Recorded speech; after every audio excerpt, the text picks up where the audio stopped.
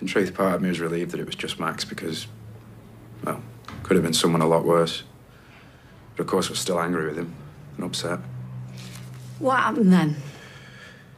Uh, I asked Max to leave, but he didn't. He was just taunting me.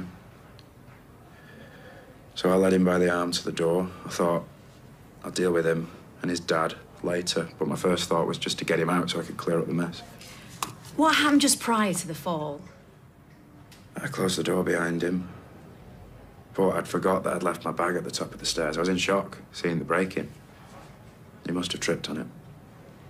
All I heard was the sound of him falling. Max has made a pretty serious allegation that you pushed him.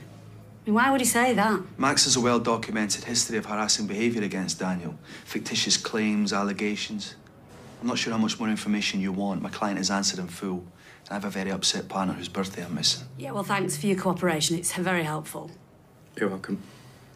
Would you be willing to give evidence should the CPS decide to press charges against Max? Ah, brilliant, I made it. Just in time to see me walk out the door. Did you get the breakfast that I left you? Well, the avocados were a week out of date, so yeah, it's just soggy sourdough and a hint of chili. Sorry. Crisis over. Yeah, unless the CPS decide to press charges against Max. He broke in, it's a serious crime. Anyway, let's not get into that. The reason I rushed back was to tell you that I booked the bistro for later. Right, way to think outside the box. Uh, and um, I wanted to give you a present.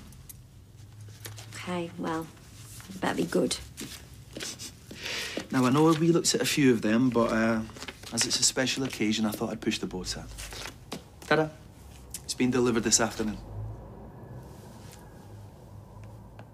You got me an oven. Yeah, I went for the more expensive double oven, the one with the easy clean coating. Even got an HD camera fitted into it. Are you kidding? Not bad, right? To think I could be sat in the Rovers with my hot bird at the same time as checking in on my juicy bird in the oven. Have you just compared me to a roasting chicken?